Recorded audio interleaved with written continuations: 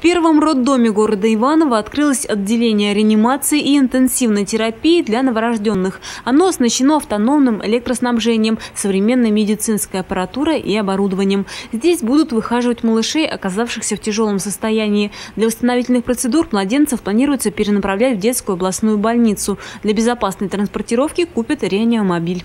Можно говорить о том, что это уже мини-перинатальный центр.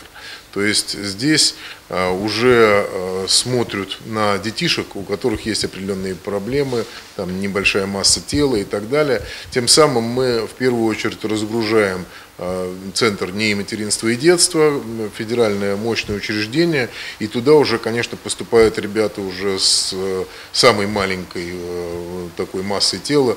Потребность в создании подобного отделения в первом роддоме назрела давно. Только 60% родов проходят нормально. В остальных случаях новорожденным требуется та или иная помощь медиков.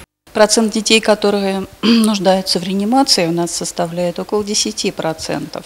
Но, в общем-то, как можно говорить о цифрах, когда касается, дело касается здоровья даже если одного ребенка. И если помощь такому малышу оказывается сразу, своевременно, помощь квалифицированная, используя ну, современное, новейшее оборудование, то, в общем-то, мы считаем, что все вложенные средства они должны себя оправдать. Правда, особую тревогу врачи вызывают курящие пациентки. Даже накануне родов некоторые из них не отказываются от этой вредной привычки.